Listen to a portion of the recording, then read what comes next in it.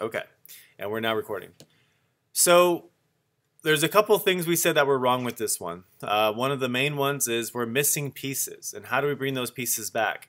The other one is going to be color, and then the third one, if you choose to do this one, is going to be leveling it out. So, but I'm going to show you how to level just in case. But like I said, I think it's on a hill, so um, it's okay as is, uh, but we can go ahead and take care of it if we need to.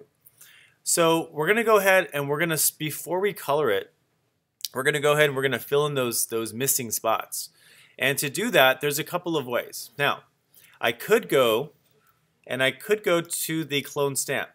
And what the clone stamp tool looks like, it's this right here. It's this little stamper here. It looks like you can push S to get it. And it's a brush. And where just a normal brush you would paint on, so if I get a regular brush and I get paint and I start painting, we paint color. But what's neat about the clone stamp tool is I get my clone stamp and here's the more most important part is we need to sample a piece of the area that we want to paint with. So we're actually going to, instead of loading paint, we're going to load a part of a picture and we're going to paint that part of a picture somewhere else. Now to do that, we need to first analyze our photo and say, okay, what kind of image do we want over here? Do you want it to be full of grass? You want it to be full of people? Or do you want it to be full of this uh, brush here? So I'm going to go ahead and do this here, this foliage here.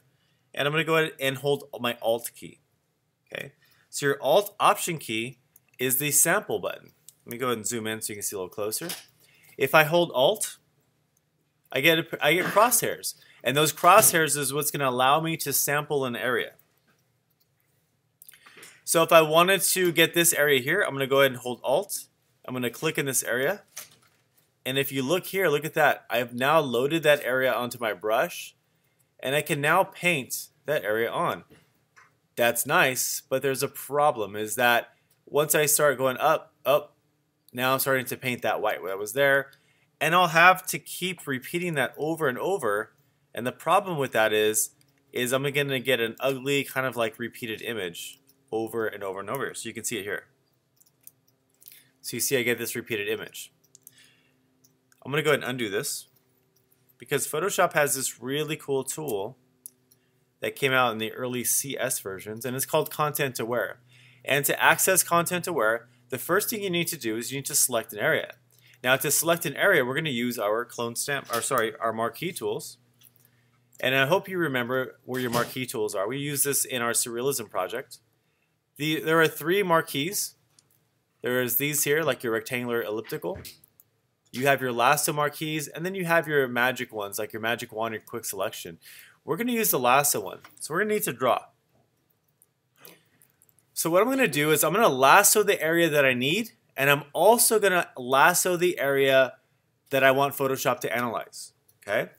And to do that, here's how it works. I Again, I need to lasso the entire area that I need to fix, which is going to be all this white.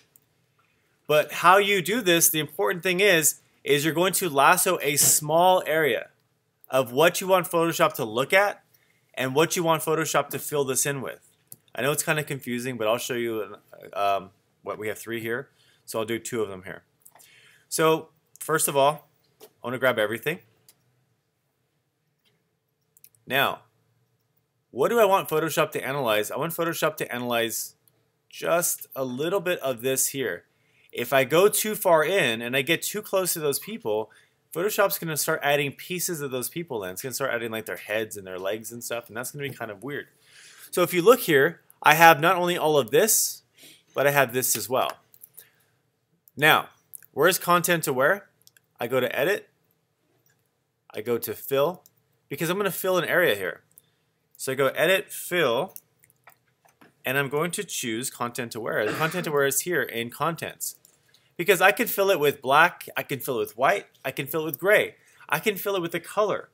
But I want to fill it with content aware. I want Photoshop to be aware of the content that I've selected for it.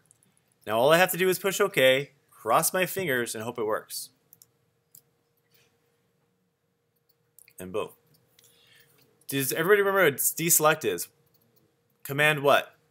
Command D to deselect. And there we go. And that's not bad at all. What's nice about this though, okay, there's a couple of spots that may have repeated. There's a spot of white over here, but you know what? Because I know the clone stamp tool now, I'm going to go ahead and grab my clone stamp tool. I'm going to sample a small area around here, and I'm just going to go ahead and touch in there. And look at that. That white spot's gone. Okay.